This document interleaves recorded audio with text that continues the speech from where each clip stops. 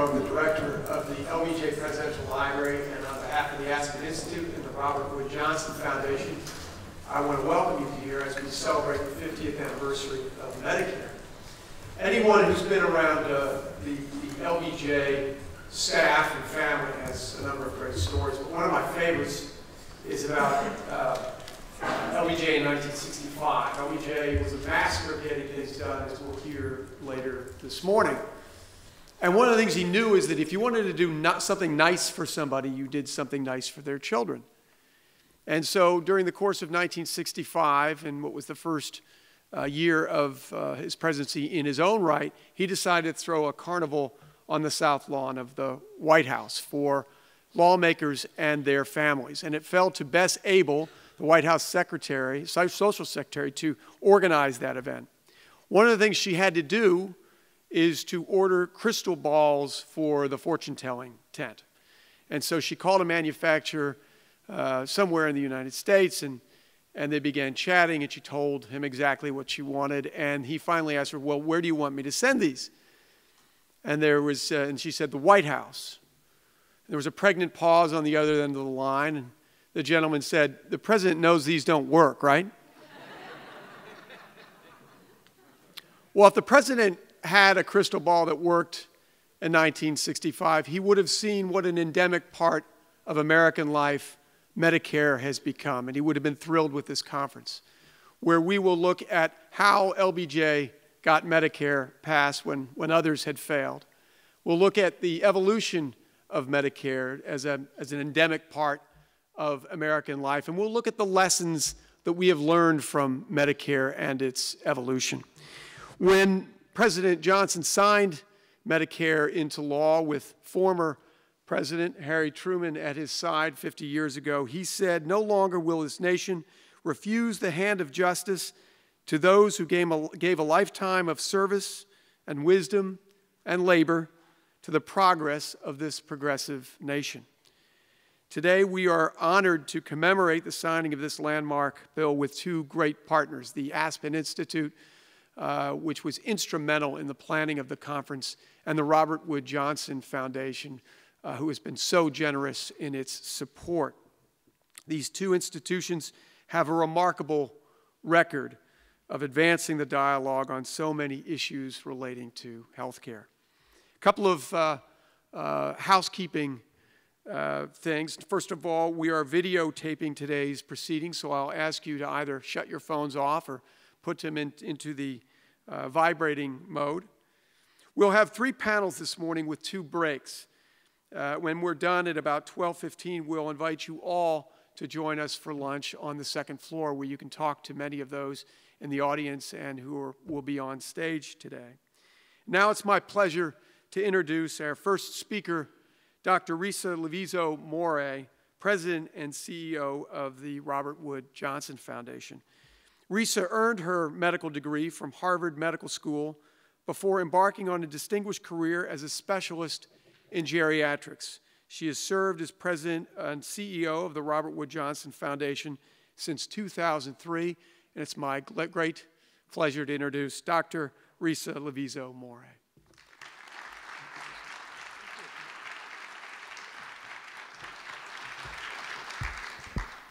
Well, great. Thank you, Mark, for that wonderful introduction and that great story. I'm going to have to use that in the future.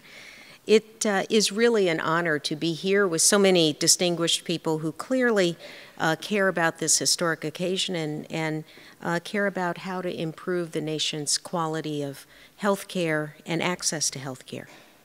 You know, 50 years ago, uh, President, when President Johnson signed uh, Medicare and Medicaid into law, he made a promise that our country would provide care for those who need it the most. He called for an end to the system that denied uh, aging Americans the, as he put it, the healing miracle of modern medicine. And he rejected that illness should have the power to, as he said, destroy the hopes and fortunes of people at the expense of caring for their loved ones.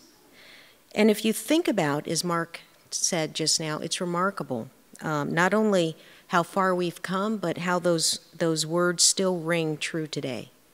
because Medicare and Medicaid have really been a driving force in improving uh, our nation in so many ways. And as a physician and as a geriatrician who practiced for many years in the diverse communities of Philadelphia, I know very well the powerful impact that these programs have on everyday Americans. I've seen personally uh, the relief in patients' faces when they know it's going to be all right because they have Medicare or Medicaid.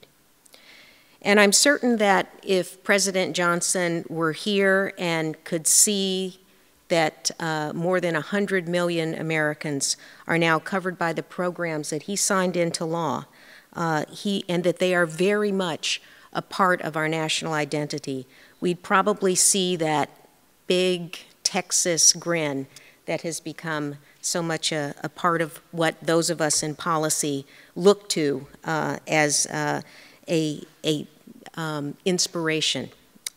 And uh, I think he would be very happy to know that we're continuing to try to improve Medicare and Medicaid, um, and particularly that they are the base on which we are building many of the, the most significant changes in healthcare today.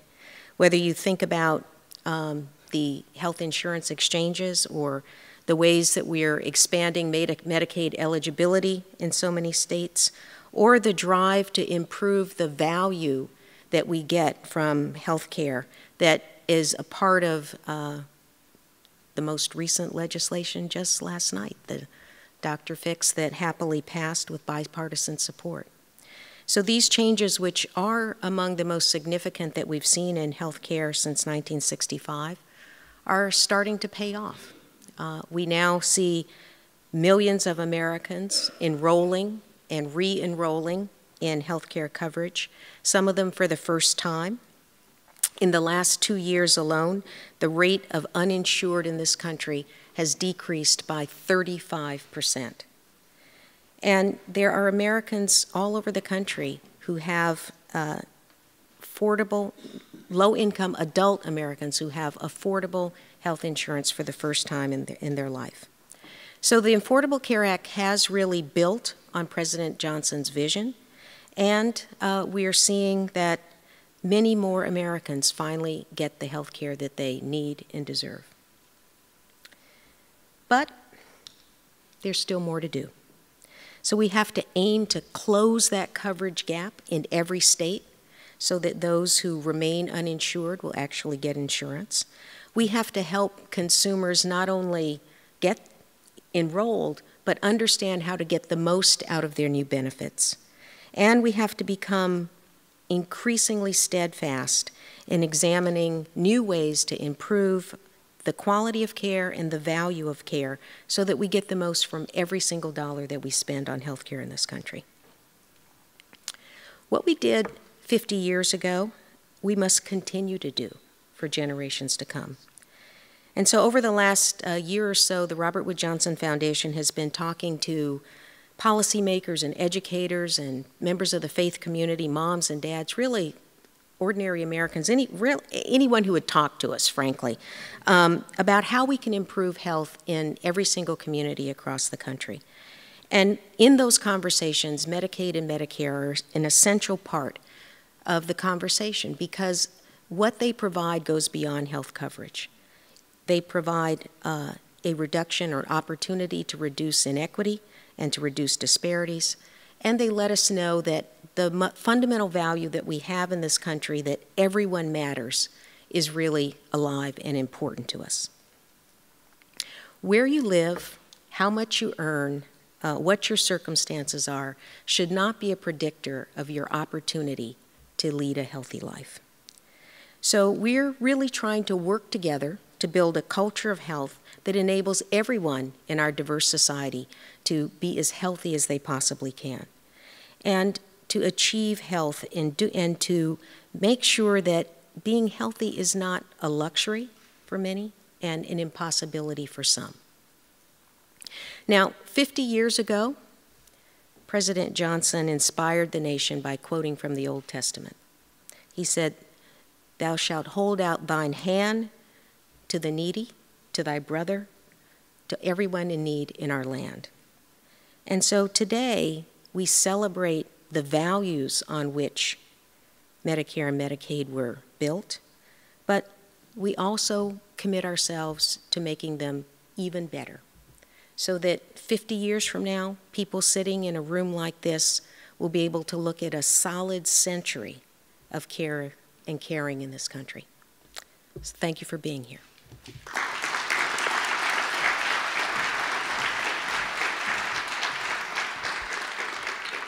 Risa, thank you very much, and thank you again for, for your support of this event.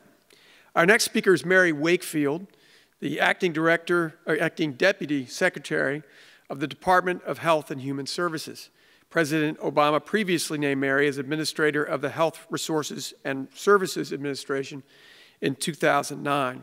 I'm proud to mention that she uh, earned both master's and doctoral degrees uh, in nursing at the University of Texas at Austin the campus where the LBJ library sits. Hook 'em horns, Mary. Uh, please Mary, uh, welcome Mary Wakefield.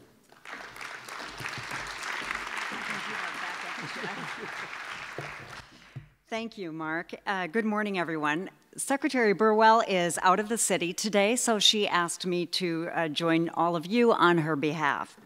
Uh, she certainly sends her warmest regards.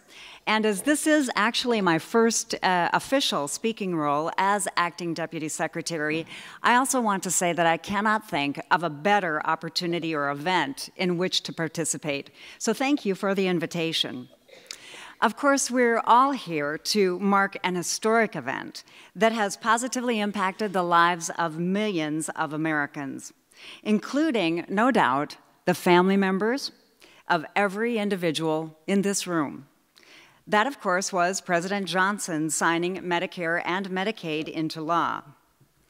Even before that, though, the need for change had been clearly identified. On his watch, President Truman had become alarmed, for example, by the sheer number of draftees who had failed their physicals during World War II. In fact, the number of men rejected for military service was about 30 percent of all of those examined. And the numbers were similar for the Women's Army Corps. So while need for it was clear, the idea of broadly available health insurance coverage was a fairly new one at that time. Actually, in the 1940s, nearly one out of four individuals were uninsured. And of course, more than half of the elderly were uninsured.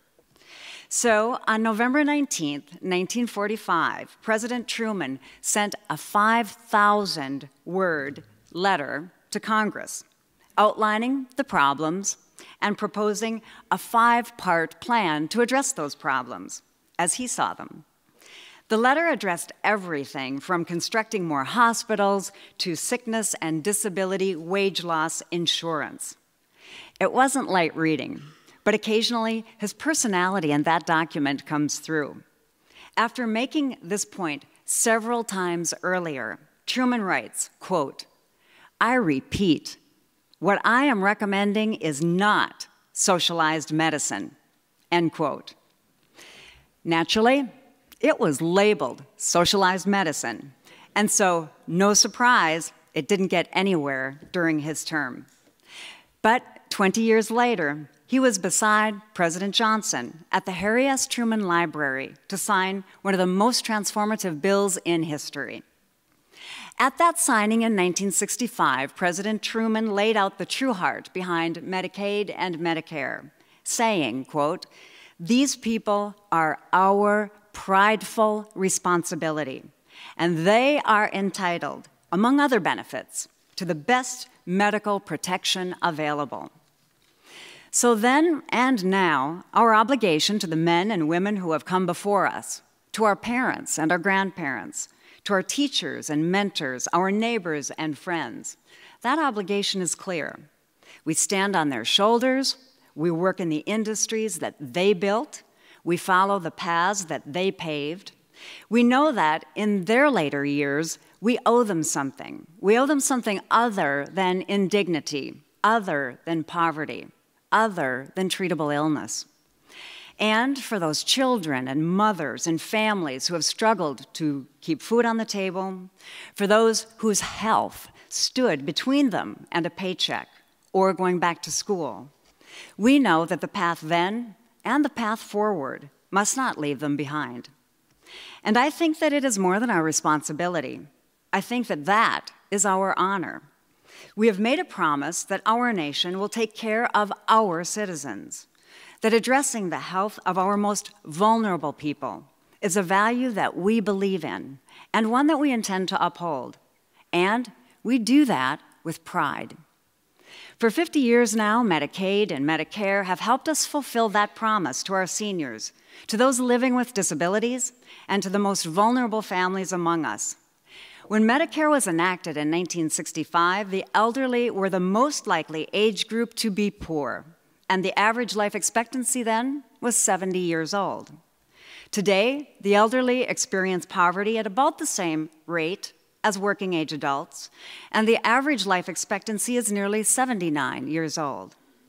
For 50 years, millions of Americans have been supported through these services. They've been able to get care when they need it most and take care of themselves before they become ill. And in 2014, so just last year, Medicare and Medicaid combined covered nearly 117 million people. And for 50 years now, both programs, both Medicare and Medicaid, have evolved, have improved in the provision of health care. Additionally, Medicare has become one of the single most popular programs, and Americans have come to know that they can rely on it. Clearly, as we look forward to the next 50 years, Medicare and Medicaid continue to have an important role to play in both ensuring access to health care and certainly in the evolution of our nation's healthcare delivery system. And so, looking forward, there is more work to do. As a nurse, as far back as I can recall, decades certainly, our healthcare system has struggled to deliver affordable, quality healthcare for many Americans. Too often, we pay more to get less. Quantity of tests is incentivized over quality of care. Volume is prioritized over value. And specific healthcare conditions are addressed while a patient's complete healthcare picture is often overlooked. But going forward, in partnership with others, we have a strategy to address that. If we can find better ways to deliver care, to pay providers, and better ways to distribute and make information available, focusing on those activities, we can make improvements that provide better care to patients, spend dollars more wisely, and support healthier people and healthier communities. We all benefit when we have a better and a smarter and a healthier system. And since so many consumers are part of Medicare and Medicaid, through these programs, we have a unique position to build, out the, to build that system out. Thanks to changes from the Affordable Care Act, we're already making some progress. With improvements made to Medicare supported healthcare delivery, among other changes, we've driven down Medicare hospital readmissions by nearly 10% last year. And we just announced today savings to taxpayers of $316 billion. We've also seen a dramatic decrease in patient harm, reducing hospital acquired infections by 17% since 2010, saving us billions in unnecessary costs and also saving lives. And of course, we've helped more than 16 million people find quality, affordable health insurance through the marketplace. It is a good start, but all of us know that we can and we need to do more. In January at HHS, we set a goal of moving 30% of all Medicare payments to alternative payment models, such as accountable care organizations, bundled payments, and patient centered medical homes, and to do that by 2016. And more importantly, the goal was set of 50% by 2018. This focus will help providers move from being paid by the test and procedure that is paying for quantity to focusing on the care and health of patients, that is, paying for care quality. We're also focused on transforming Medicaid through improved practices and a focus on care quality. Our CMS Innovation Center has a number of initiatives in Medicaid that are helping us to move the needle, like the Medicaid Innovation Accelerator Program, Medicaid Incentives for the Prevention of Chronic Diseases model, and the Strong Start for Mothers and Newborns initiative. We're also focused on improving services for people who are du dual eligible, often the folks who are, have the most complex and highest costs. We are leading where we can, but we also know that we can't do it alone. So we're working with insurers, providers, businesses, and consumer advocacy groups to find the best solutions and build on so much of the progress that they have led over the past several years. Working together within our reach is a better, a smarter, and a healthier system. Before I was named acting deputy secretary, I served as the administrator of the Health Resources and Services Administration, where in that operating division of HHS, our main objective was to connect uninsured, isolated, and medically vulnerable people with care. Needless to say, through HRSA's programs, we do a great deal of work with Medicaid and Medicare and Affordable Care Act programs. So for me, it's been refreshing to have solutions to long-standing problems. It's been absolutely amazing to see the kind of impact that these programs can make in people's lives. They truly are life-changing. Far back, when President Franklin Delano Roosevelt signed the Social Security Act, he explained that it represented, quote, a cornerstone in a structure which is being built, but is by no means complete. And President Johnson echoed those words 50 years ago as well.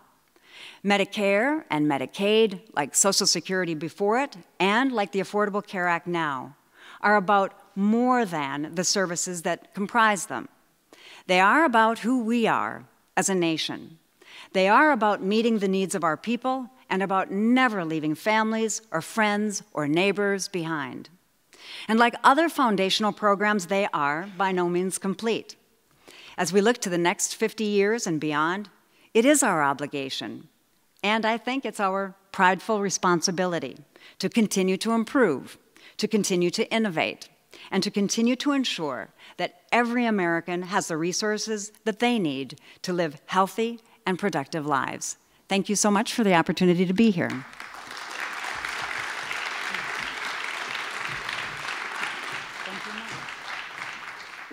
Thank you so much, Mary, and thank you for all you do at HHS. Uh, it's now my great privilege to introduce Congressman John Conyers. Congressman Conyers has represented Michigan's 13th congressional district since that seminal year in American history, 1965, when the 89th Congress passed Medicare and Medicaid. This is the congressman's 26th term in the House of Representatives. You'll hear in a minute Congressman Conyers uh, and the unique role that he played in the passage of the Medicare and Medicaid bill for all qualified Americans. During his long and distinguished career, he has also served as chairman of the House Committee on, on the Judiciary and was a founding member of the Congressional Black Caucus. Congressman Conyers has spent half a century fighting for equal justice and the protection of civil rights for all Americans, and we are privileged to have him here today. Congressman Conyers.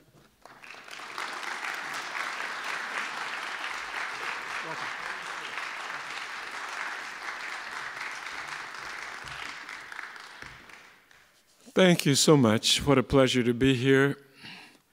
You may now call me the Dean of the Congress, um, which is just another way of saying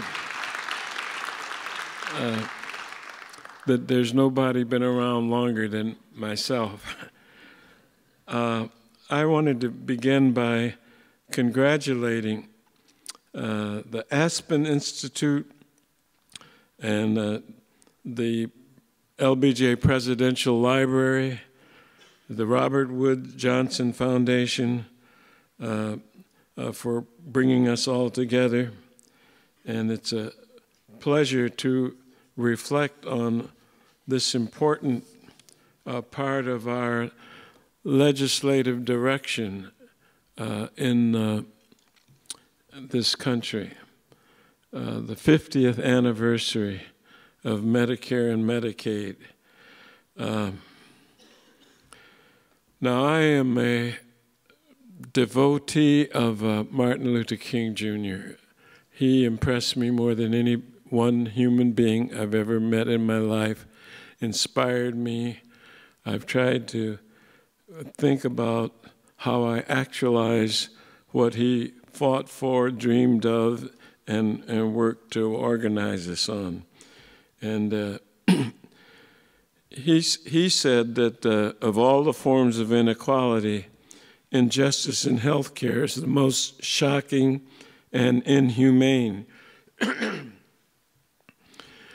I hope you believe that uh, because there are a lot of other things that are just as bad. I mean, getting uh, falsely imprisoned uh, is one that I think of, and uh, getting rid of the death penalty, which we've been working toward, is another thing that is shocking and inhumane.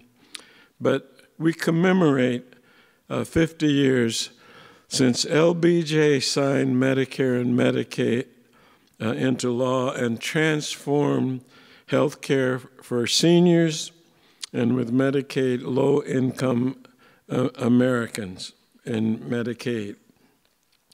Uh, this was the first piece of legislation, and I'm probably the only one around in the Congress that was here in 65. I don't, I don't remember anybody uh, that was here when this happened. And I just got to Congress, and this was the bill that I first introduced uh, that year.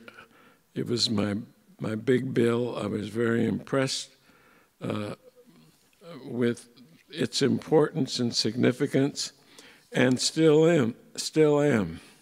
Now, the, the, the only thing I wanted to add to the beautiful presentation you've already been treated to is that this bill in 1965 ended segregation in healthcare. Uh, we don't even think about that now, but uh, there was a strictly enforced segregation of healthcare in our system. Uh, in the 1960s uh, throughout the South that was strictly enforced, but in many places in the North it was enforced as well. Or you were sent, if, if you were African American, to second rate care. There was a, a two tier system if there was anything at all uh, in many places. And the few African American doctors there were couldn't even uh, practice in most hospitals. And that all changed in 65 uh, uh, for to get the federal funding through Medicare. Uh, you, we had to require that hospitals uh, obey the provisions of the civil rights legislation just passed a year earlier, which required integrating the facilities, uh, uh, and there was monitors sent around for compliance, and it, it worked. Uh, it worked pretty well in, in ending segregation, a huge step forward. Now, uh, we've we've got some uh, uh, some tremendous work in front of us. You see, the, uh, there's still two schools of thought uh, about health care. Uh, one is to uh, contract it, to clip away some of the benefits, and uh, my conservative colleagues have gotten very expert at uh, chipping away a little bit pieces at a time. Uh, fortunately, I have some of my conservative colleagues that are now embracing this uh, fully without restriction, but they're few in number. What we're trying to do is expand uh, the two schools of thought is one, let's privatize health care. Oh boy, that's that would be the last that would be the last straw. You you you you know that's not going the right way. And the other view uh, is let's expand uh, Medicare coverage. And so I uh, uh have introduced H.R. 676, the uh, Medicare for all, regardless, uh, for everybody, regardless of status, age, wealth, location, and uh, uh, it, it is called HR 676, uh, and it's uh, Medicare for all. Now, this is moving toward my ultimate goal. I might as well just privately let you know about it today. Look, single payer Medicare for everybody uh, is the goal, uh, and that gets rid of all the Medicare, Medicaid, Affordable Care Act. We just had a big fight on, on extending uh, the Affordable Care Act, and there are people that still want to cut back on it. And, and now there's a big battle going on in the Congress to reduce the uh, Medicare benefits by cutting it. Uh, so uh, I, I want you to know the battle still goes on. There, the two schools are still at it. One, let's reduce it and pri or privatize it, and let's expand it and have a system uh, where everybody's covered, uh, period. And, uh, and uh, of course, I am proud to join the latter group as, as we keep this battle going forward. I congratulate you and the organizations that are presenting this today, and thank you for listening to me.